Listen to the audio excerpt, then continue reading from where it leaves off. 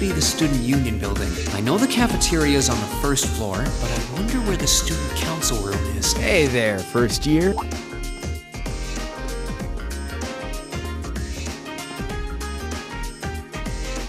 Um, How's it going? Academy life been treating you well this past half month? oh, yeah, it has. Guess he must be a second year. It's not easy, but I'm managing. Though I have a feeling it's only going to get harder from here on out. Of course it will.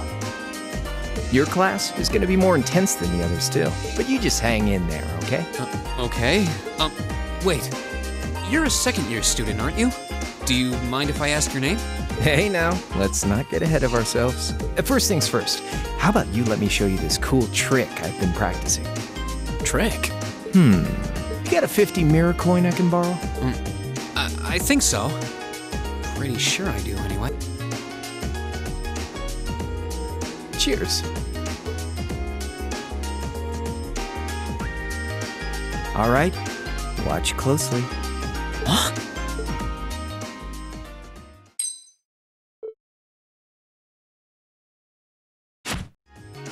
Now, which hand is the coin in? Left or right? It's in your. Too bad.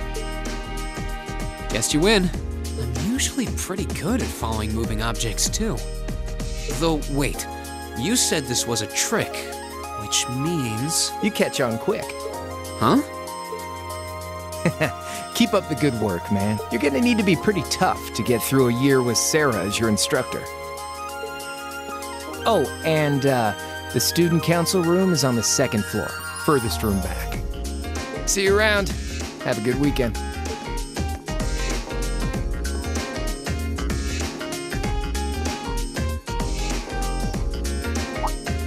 Wait!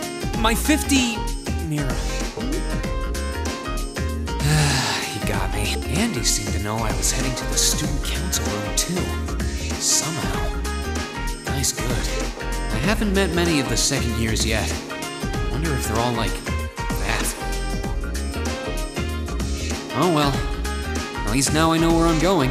Though, if it really is open late, I guess there's no real rush. I might as well see what else people are up to in here.